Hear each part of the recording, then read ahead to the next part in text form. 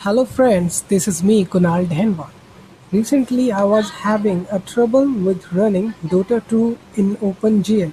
OpenGL is a platform to run games and it's a substitute of DirectX.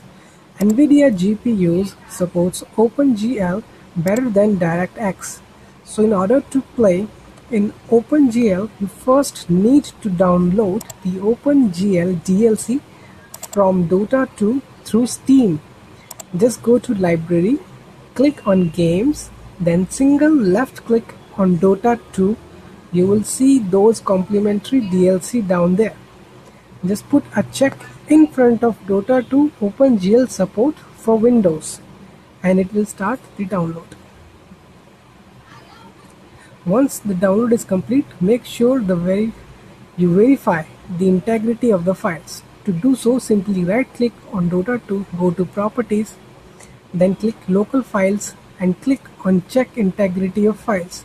Checking integrity is very important if you don't do this you will probably get a black screen when you will run Dota 2 and by checking the integrity you will see if all the files are downloaded and are not corrupt.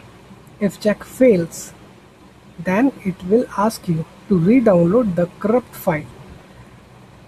And once re-download finishes verify integrity of files again. And if integrity check passes you need to right click on Dota again and click properties. Now click on launch option and insert the following codes. You can find these codes in description as well.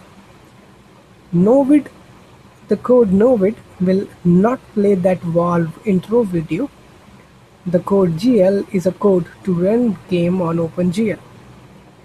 So to put this code is a must to do step. Now close the Steam and make sure no Steam progress is running in the background.